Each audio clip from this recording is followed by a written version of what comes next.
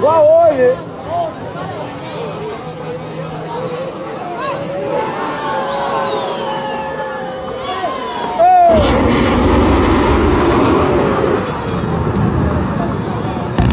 Michela, tu faz brincadeira. Se tem nada, vai com você.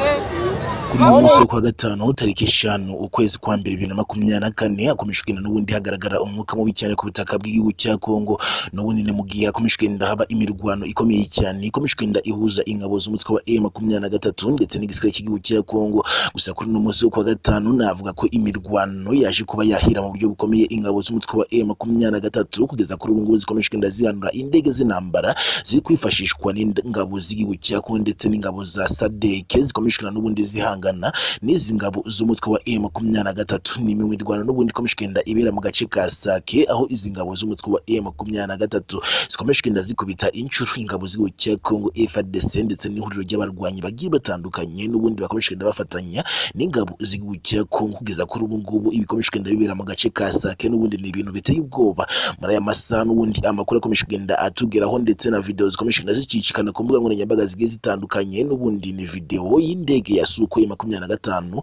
imaze kuba yahanurwa n'ingabo z'umutwe wa e makumyabiri na gatatu. Ibi ngibi bije bikurikira n'ubundi. Itangazo y'ingabo z'umutwe wa e makumyabiri na gatatu zamaze gushyira ahagaragara zihanangiriza ku nshuro ya nyuma perezida felix antoine tshisekedi ndetse banamuha woningi bamusaba ko agomba kuba yashyira mu bikorwa aya masezerano bagiranye bitaba ibyo ngibyo n'ubundi ngo hagiye kuba hagaragara amasasu menshi cyane agiye kuba yakumvikana ku butaka bw'igihugu cya kongo n'ubundi na mu gihe n'ubundi uyu mutwe wa e makumyabiri na gatatu wo utangaza ko wakomeje kugenda uvugisha umunwa usaba ibiganiro hagati ya leta ya kongo ndetse n'izi ngabo z'umutwe wa e makumyabiri na gatatu ariko n'ubundi leta ya kongo ikavunira ibiti mu matwi kugeza kuri ubu ngubu ingabo z'umutwe wa e makumyabiri na gatatu zikaba zariye karungu zitangaza ko zigiye kuba zahangana mu buryo bukomeye cyane. N'iyi leta ya kongo bifashishije ibitwaro karundura n'ubundi batangaza ko bamaze kwambura izi ngabo z'igihugu cya kongo frdc mu mirwano yagiye ibahuza. Ibitwaro rero ni byo bikomeje kugenda binifashishwa ku rugamba kugeza muri aya masaha n'ubundi aho hamaze kuba hahanurwa indege n'ubundi yari isanzwe yifashisha n'indege yari isanzwe yifashishwa n'ingabo z'igihugu cya Kongo FARDC mu gihe cyose zabaga ziri guhangana n'izi ngabo z'umutwe wa M makumyabiri na gatatu. Ni mu mirwano imaze iminsi igera kuri itatu ibera mu gace ka Sake ndetse no ku musozi wa Kibumba aho n'ubundi ingabo z'umutwe wa M makumyabiri na gatatu zari zikomeje kugenda zihangana mu buryo bukomeye cyane nyuma y'uko zari zasohoye n'itangazo rivuga ko kugeza kuri ubu ngubu n'ubundi uzatsinda amatora y'umukuru w'igihugu cya Kongo atazigera ahirahira ashaka kuba yasaba izi ngabo z'umutwe wa M makumyabiri na gatatu santimetero imwe ku butaka zamaze kuba zakigarurira. Ibi ngibi rero n'ubundi ni gasopo ikomeje kugenda itangwa nyuma y'uko leta ya Kongo yari ikomeje kugenda yizera ko izi ngabo z'ibihugu za SADC zoherejwe uh, muri iki gihugu cya Kongo zigomba kuba zazifasha mu kurandura uyu mutwe wa M makumyabiri na gatatu ku butaka bw'iki gihugu cya Kongo ariko ibi ngibi byose n'ubundi bikomeje kugenda biba iby'ubusa mu gihe n'ubundi leta ya Kongo yitwaje imitwe y'inyeshyamba igiye itandukanye ibarizwa ku butaka bw'igihugu cya Kongo irimo n'umutwe wa FDLR leta ya Kongo yari yizeje kuba izawufasha mu guhangana na leta y'u Rwanda mu gihe cyose bazaba bamaze kuba bahirika cyangwa se barimbura uyu mutwe wa M makumyabiri na gatatu. Haza ingabo z'igihugu cy'abarundi na zo zakomeje kugenda zicirwa ku rugamba. N'izi ngabo z'umutwe wa M makumyabiri na gatatu kugeza kuri ubu ngubu rero n'ubundi leta ya Kongo yari iteze amakiriro ku ngabo za sadeke karizo zigomba kuba zafasha leta ya Kongo mu kurandura uyu mutwe wa M makumyabiri na gatatu kugeza kuri ubu ngubu n'ubundi izi ngabo za sadeke nazo zikaba zatangiye kugenda zibona ko imirwano ikomeje kugenda ibatsinda mu gihe n'ubundi ingabo z'umutwe wa M makumyabiri na gatatu zari zabateguje zibabwira ko uzahirahira wese agashaka kuba yakihuza n'igihugu cya Kongo cyangwa se n'ingabo z'igihugu cya Kongo FARDC ashaka kuba yarwanya uyu mutwe wa M makumyabiri na gatatu utangaza ko wari kurwanira ukuri ndetse n'uburenganzira bw'abavuga ururimi rw'ikinyarwanda ndetse n'abaturage mu bwoko bw'abatutsi bo ku butaka bw'igihugu cya Kongo n'ubundi batazamwihanganira bagomba kuzamumengeramo urufa rw'amasasu aremereye cyane bityo bigatuma n'ubundi iki gihugu cya Kongo kibasha kuba cyacika intege kugeza igihe n'ubundi hazashyirirwaho amasezerano cyangwa se aya masezerano igihugu cya Kongo cyagiranye n'izi ngabo z'umutwe wa M makumyabiri na gatatu kizemera kuba cyayashyira mu bikorwa. Ibi ngibi rero bikomeje kugenda bitera ikibazo gikomeye cyane ndetse akibazwa ku ibaruwa uyu Kayumba Nyamwasa yaramaze iminsi yandikiye uyu mukuru w'igihugu cya Kongo ari we Felix Antoine Tshisekedi uherutse gutsinda amatora y'umukuru w'igihugu cya Kongo yabaye ku itariki ya makumyabiri ndetse na makumyabiri n'imwe kubuza bibiri na makumyabiri na gatatu ubwo n'ubundi aya matora yabaga hagiye habamo akavuyo kenshi cyane. Bivugwa ko hari kwibwa amajwi ariko kugeza kuri ubu ngubu n'ubundi izi ngabo z'umutwe wa e makumyabiri na gatatu zo zikaba zitarahwemye kuba zakihanangiriza uwashaka cyangwa se uwa washaka kuba yahangana nazo mu gihe cyose n'ubundi leta ya Kongo igifatanye ibibazo n'izi ngabo z'umutwe wa M makumyabiri na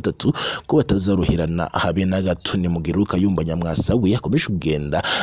asaba ubufasha. Uyu perezida Felix Antoine Tshisekedi inkunga n'ubundi zigamije kuba yamufasha ngo mugirika ubutegetsi bwa leta y'u Rwanda. Benshi bakibaza niba uyu Tshisekedi ukomeje kugenda ananigwa izi ngabo z'inyeshyamba zo mu mutwe wa M makumyabiri ari we ugomba kuba wasabwa ubufasha bwo kuba yahangana n'ingabo z'igihugu cy'u Rwanda RDF ingabo z'abanyamwuga n'ubundi zisanzwe zizwiho kuba zarwana intambara aho, aho, aho rukomeye dore ko n'ubundi ari ingabo zikunze kuba n'ubundi zajya gufasha n'ibindi bihugu bigaragaramo umutekano mukeya cyane by'umwihariko kugeza kuri ubu ngubu n'ubundi igihugu cy'u Rwanda kikaba gifite ingabo nyinshi. Mu gihugu cya Centrafrica zikomeshwe n'ubundi zibungabunga amahoro muri icyo gihugu. Ni mu gihe leta y'u Rwanda yasabye leta ya Kongo kuba yayoherereza ingabo zayifasha guhangana n'umutwe wa M makumyabiri na gatatu ariko n'ubundi leta ya Kongo ikavunira ibiti mu matwi ikavuga ko bidashoboka kitashobora kuba yafasha ingabo z'igihugu cy'u Rwanda. Kidashobora kuba yafashwa n'ingabo z'igihugu cy'u Rwanda mu guhangana n'umutwe wa M makumyabiri na gatatu mu gihe n'ubundi leta ya Kongo ibona ko abarwana ku butaka bw'igihugu cya Kongo ari ingabo z'igihugu cy'u Rwanda RDF nguko leta ya Kongo n'ubundi ibishimangira ibikomoza cyangwa se ibiturukije ngo ku mashusho yafashwe n'indege za drone zo mu bwoko bwa CH4B zerutse kuba zagurwa hariya mu gihugu cy'Ubushinwa ni indege zigera muri icyenda zose zaguzwe maze leta ya Kongo itangaza ko igomba kuzazifashisha mu gukora ubutasi ndetse no kurasa mu birindiro by'umwanzi wazo aho biherereye hose. Kugeza kuri ubu ngubu izi ndege zatangiye kugenda zihanurwa dore ko indege nkuru yari isanzwe n'ubundi yifashishwa mu mirwano yamaze kuba yarasirwa mu gace ka Sake ahakomeje kugenda habera imirwano ihanganishije izi ngabo n'ubundi z'umutwe wa M makumyabiri na gatatu ingabo z'igihugu cya Kongo ingabo z'inyeshyamba. Z'umutwe y'inyeshyamba igiye itandukanye harimo umutwe wa FDLR Maimai wa Zarendo ndetse n'ingabo z'igihugu cy'u Burundi hakazamo n'ingabo zo mu bihugu bya SADC zoherejwe rero ngo zijye guhangana n'izi ngabo. Z'umutwe wa M makumyabiri na gatatu ariko nanone batari barwana n'urugamba ngo barugeze hagati zikazi zikomeje kugenda zitsindwa n'izi ngabo z'umutwe wa M makumyabiri na gatatu. Iza kuri ubu ngubu benshi baribaza ngo iyi ntambara iraza kurangira gute ndetse natwe ibyo dukomeje dukurikana dukurikirana gatanu kuri 5 kugira ngo tubashe twamenya akantu ku kandi ku bikomeje kugenda bibera ku butaka bw'igihugu cya Kongo icyo tugusaba nta kindi usibye kudutega amatwi ndetse ugakana no kuri subscribe maze igihe cyose. Tuzadushyiraho inkuru cyangwa se ikiganiro nawe ukazajya tukibona mu ba mbere ndetse tukazarushaho no kujya tubona gatanu kuri gatanu mu makuru ndetse n'ibiganiro bigiye bitandukanye tukugezaho umunsi ku munsi. Ndabakunda cyane andi makuru agezweho ni mu kanya gatoya cyane. Ntimujye kure.